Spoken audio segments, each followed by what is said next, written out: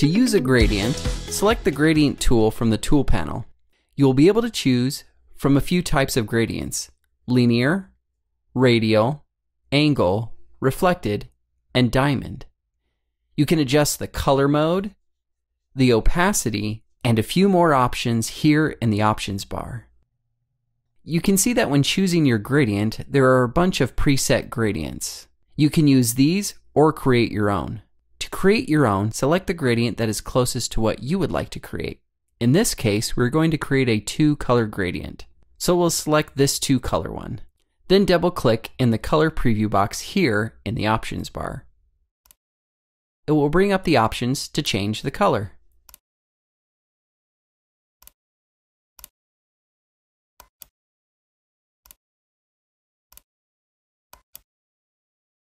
Adjust the length of each color and the middle of the two, where they blend. You can click to adjust the opacity of each color.